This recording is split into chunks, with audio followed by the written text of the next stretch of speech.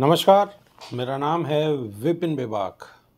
अपना और अपनों का ख्याल रखो और जब टाइम मिले तो वीडियो ज़रूर देखो। बिहार में लोकसभा चुनाव से पहले सियासी गलियारों में हलचल बढ़ गई है।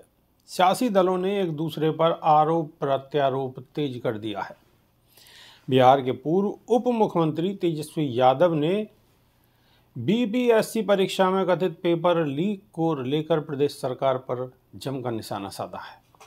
आरजेडी नेता और पूर्व डिप्टी सीएम तेजस्वी यादव ने प्रदेश की जेडीयू, बीजेपी गठबंधन की अगुवाई वाली नीतीश कुमार सरकार से सवाल करते हुए कहा है कि बिहार में तीसरे चरण की बीपीएससी शिक्षक नियुक्ति परीक्षा में पेपर लीक के कारण चार लाख से अधिक अभ्यर्थियों के परेशानी हुई है। आखिर ऐसा क्यों हुआ है?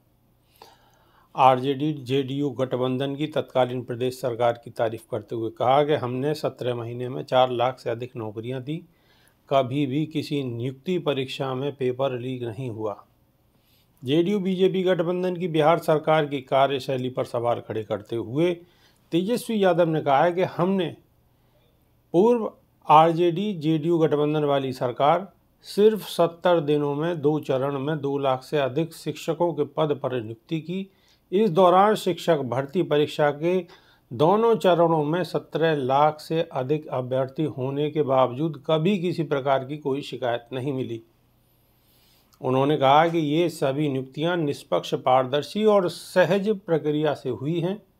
नीतीश सरकार पर तंज कसते हुए तेजस्वी यादव ने कहा है कि अब ऐसी कौन सी ताकत और तत्व बिहार सरकार में है जिसके कारण तीसरे चरण की नियुक्ति में लाखों परीक्षार्थियों को समस्याओं का सामना करना पड़ रहा है। उन्होंने अपने कार्यकाल का ज़िक्र करते हुए कहा है कि तीसरे चरण में भी एक लाख से अधिक शिक्षकों की नियुक्ति की नीतिगत निर्णय हमारे कार्यकाल में हमने कराया था। अब ये एनडीए सरकार इसे लटका लटका और भटका क्यों रही है?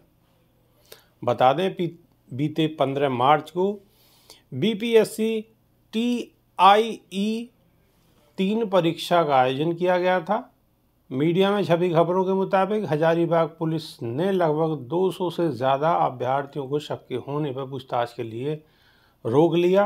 पुलिस को इसके लिए विश्वस्त सूत्र से सूचना मिली थी और सभी को हिरासत में ले लिया गया। बताया जा रहा है कि इनमें से किसी भी अभ्यर्थी के पास उनका मोबाइल फ़ोन था। फ़िलहाल इस मामले में आला अधिकारी कुछ भी कहने से बच रहे हैं और पुलिस मामले में आगे की जाँच कर रही है। अभी के लिए सिर्फ़ इतना ही। नमस्कार।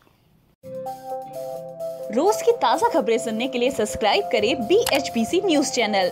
साथ ही रोज के नोटिफिकेशन जानने के लिए दबाएँ बेल आइकन साथ ही हमें अपनी राय देने के लिए हमारी वीडियो पर कमेंट करके बताएँ और वीडियोस को लाइक और शेयर करना बिल्कुल ना भूलें।